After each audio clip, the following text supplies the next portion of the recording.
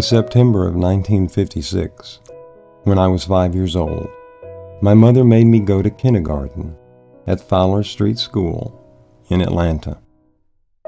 There were two kindergarten classes. My teacher was jovial and overly plump. The other teacher was wrinkled and skinny and looked oddly like Benjamin Franklin, albeit a gaunt version. I didn't want to go to kindergarten. I told that many times to my mother. She still made me go. She reminded me that my father wanted me to go to college, and this was the first step in that journey. My father really did drill into me the importance of going to college. He had already decided I would go to Georgia Tech. Everything I did was supposed to be a constructive step toward that goal. With that lofty aspiration in place, every day, Monday through Friday, I attended kindergarten. However, I couldn't help but think what would happen if I messed up during my long pilgrimage to Georgia Tech. Kindergarten wasn't so bad. After a few months, I had the hang of it.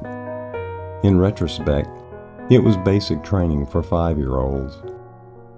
One day, as Easter was approaching, my teacher got sick.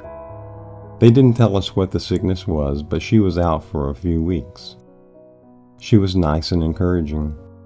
In her absence, the other kindergarten teacher, Miss Cootie, taught both classes. She was mean and seemed desirous of my ultimate failure. On the Friday before Easter, Miss Cootie had decided all the kids in kindergarten would finger paint something about Easter. She gave everyone a sheet of paper. She got all the various colors of paint ready and instructed everyone to proceed by dipping their fingers into the paint. It was a confusing activity. The kids grouped around the paint jars and started spilling and dripping paint everywhere. It was a big mess and I didn't want to get involved, so I just sat there. When Miss Cootie discovered I was not participating, she sternly asked why. I told her my reason. She became angry and started yelling at me. I didn't know what to do, so I didn't respond. That just made her angrier. I instantly developed an intense aversion to finger painting. I firmly decided I would never finger paint for the rest of my life. When Miss Cootie finally stopped yelling at me, she grabbed me and took me to the principal's office. She told Mrs. Bradshaw, the principal, about my insurrection. To hear her tell it, I had disrupted the entire Atlanta city school system. Then she stomped out and screamed, He can't come back to class until he does a finger painting. Well, that was it. I would never go to college now.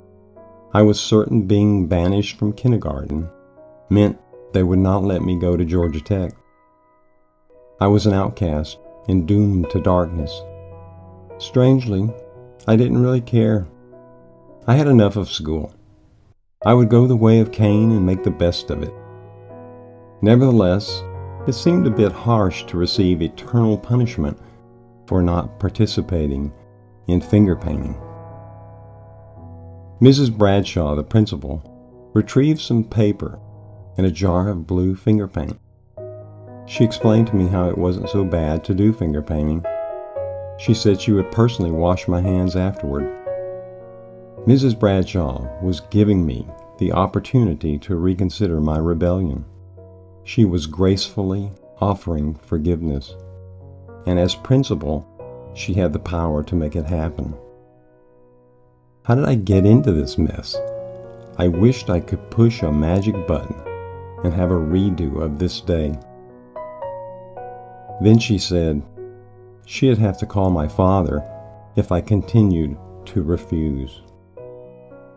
Now, that got my attention. I had to decide between finger painting and a public whipping.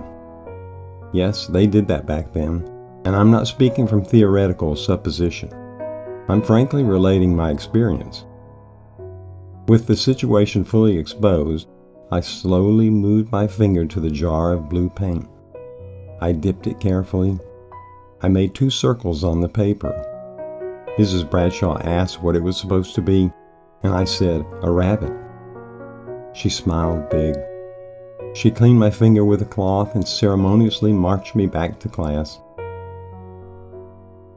When Miss Cootie saw us, she demanded to see the required finger painting. As if she had done it herself, Mrs. Bradshaw proudly showed it to her. Miss Cootie asked, Did he do that? Miss Bradshaw said, With his finger only, and then left. I and Miss Cootie stood there glaring at each other for a few minutes.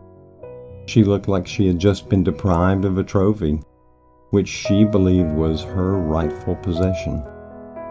Then she reluctantly hollered, Sit down. Redemption.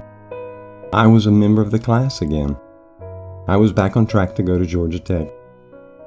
That was a close call. It was such a simple thing to mishandle a situation, and such a pride swallowing process to restore order again. That confrontation with Miss Cootie was just one instance of many misadventures, which also required me to seek forgiveness. Through the years, I encountered the specter of Miss Cootie many times. There are many people who will encourage your success, but sadly, there are also many who will try to wreck your life. My hard learned advice is not to mess up. But if you do, repent without delay.